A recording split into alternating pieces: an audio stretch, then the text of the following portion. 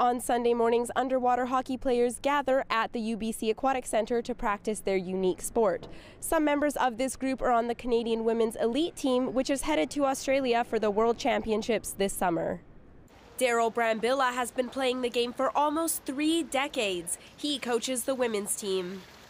Kind of like water polo and hockey together, I guess you could kind of put it that way. And just like in uh, ice hockey, we have a puck that's about the same size as an NHL hockey puck. And uh, again, you drive it up and down the pool, passing it back and forth to your teammates, and hopefully put it in the net at the far end and get the goal. Alita Cricken is one of the players. I really love the three dimensionality of the sport.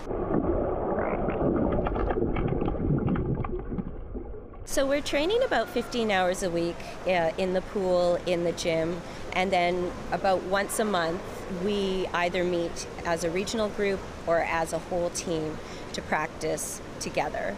Adamita Carden says she's found an international community through the sport.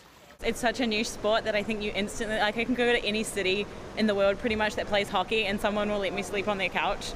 And, like, I just love that aspect of it. Our province has a long history with the sport. The first ever World Championships were held in Vancouver in 1980.